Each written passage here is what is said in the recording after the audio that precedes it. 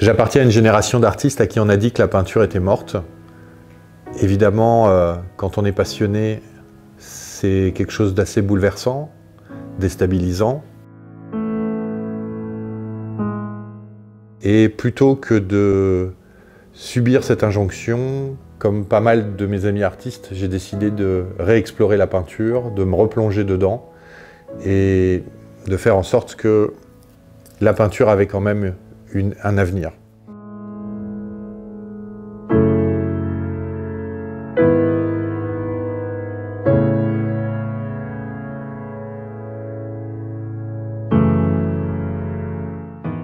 Je me suis retourné vers les maîtres anciens, je suis retourné au Louvre, je suis retourné euh, consulter euh, euh, les peintures de l'histoire de l'art et pour un peintre, la manière la plus simple de les consulter, c'est de les approprier.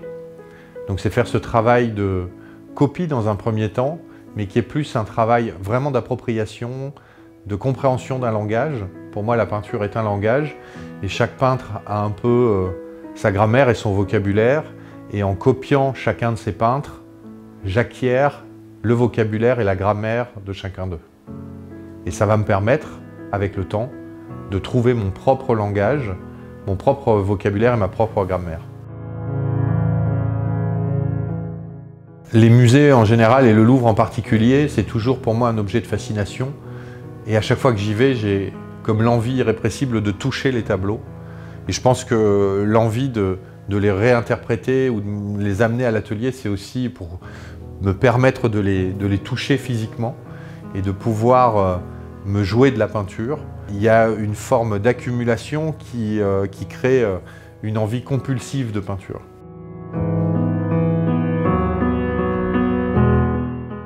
J'aime beaucoup aborder le travail de la peinture par couche picturale.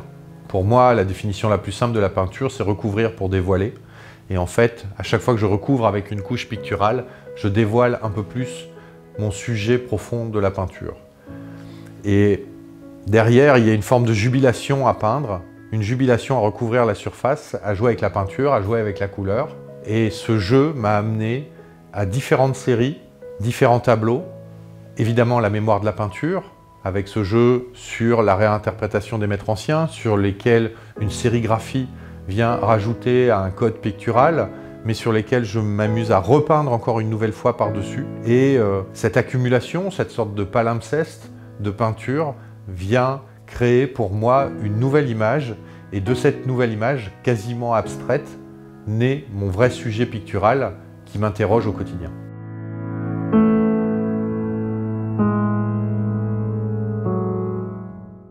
Y a toujours une prise de risque dans cette accumulation parce que j'accumule des écritures, j'accumule des époques, j'accumule euh, une narration et moi j'ai toujours vécu le tableau comme un tableau non figuratif et abstrait. En fait, pour moi, j'agis avec la peinture comme si euh, chacun des sujets que je peignais était presque un motif abstrait. Donc, quelque part, ça ne me gêne pas trop de troubler l'image qu'on va voir au départ.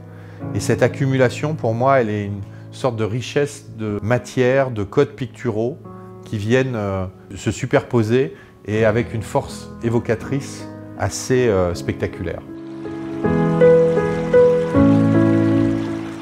Le paysage, c'est quelque chose dont je suis proche. Le paysage, euh, ça touche à mon intimité. J'ai grandi en Corrèze. J'ai grandi plutôt avec cette idée d'être un pêcheur, de me promener dans la forêt, de me promener le long des rivières. J'ai un rapport charnel au paysage et c'est tout naturellement que c'est devenu mon sujet originel. C'est celui par lequel je suis entré dans la peinture. Le paysage d'abord, euh, mon paysage originel, celui de, la Corrèze.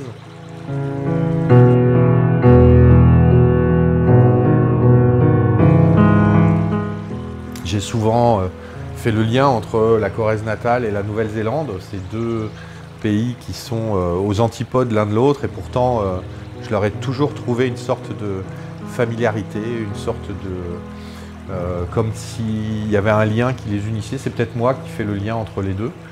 Mais euh, ce paysage de Nouvelle-Zélande, il a quelque chose de particulier pour moi, dans ce sens que j'y ai trouvé une sorte d'Arcadie, une, de, euh, une sorte de paradis perdu.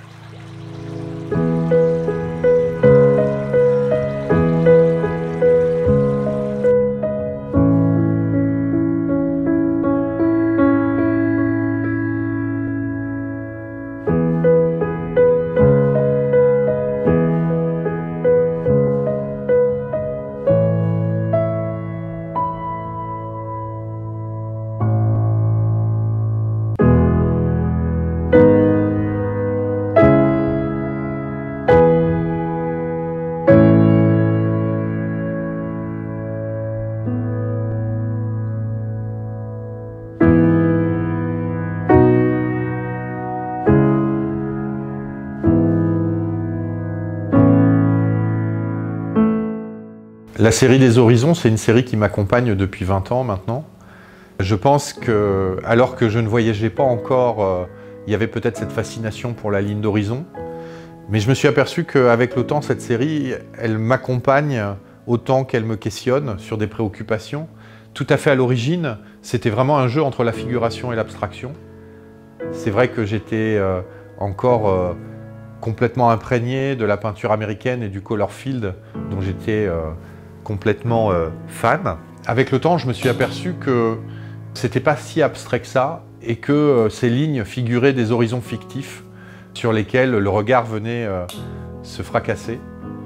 Et puis récemment, je me suis aperçu que c'était la problématique de la lumière qui était en train de l'emporter sur cette série un peu comme euh, les impressionnistes en fait, euh, sur comment pouvoir capter la lumière simplement avec de la couleur, en confrontant une partie figurative de la peinture avec la partie supérieure du tableau, avec le paysage qui vient s'attarder sur des aubes ou des crépuscules, et la partie inférieure où ces lignes vont s'armer de couleurs pour se confronter les unes les autres et euh, opérer un jeu rétinien créer l'illusion d'une forme de luminosité, presque de néon, face au spectateur.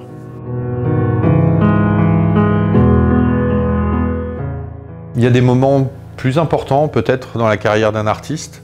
Je me souviens que le moment où on avait fait la monographie avait été un moment important, il avait marqué une étape et euh, ça avait profondément transformé le travail. Je pense que l'exposition que j'ai faite à la Fondation Ferdinand Branca, qui revient sur 25 ans de travail, avec une cinquantaine de toiles. C'est une manière pour un artiste de voir en une seule fois 20 ans de travail. C'est des moments qui sont assez privilégiés, assez rares et qui remettent en question beaucoup de choses parce que dans un espace physique, voir autant de ces tableaux, ça les éclaire d'un jour nouveau. Et je suis un peu aujourd'hui dans cette phase de réflexion sur euh, quelque part une deuxième partie de ma vie d'artiste.